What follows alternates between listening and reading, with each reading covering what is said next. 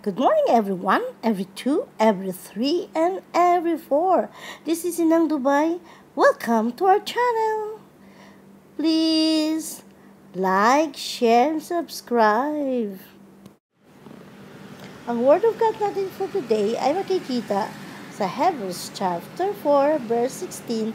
At ang sabi dito, Let therefore come boldly unto the throne of grace, that we may obtain mercy and find grace to help in time of need. Amen.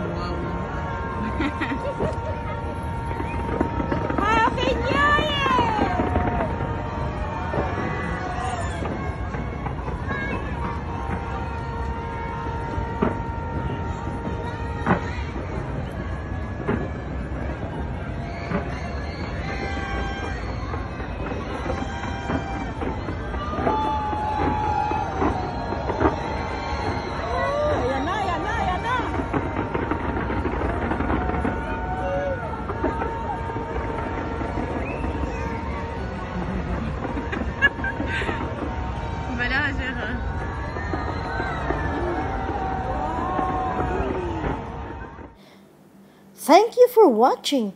To God be the glory. God blesses everyone.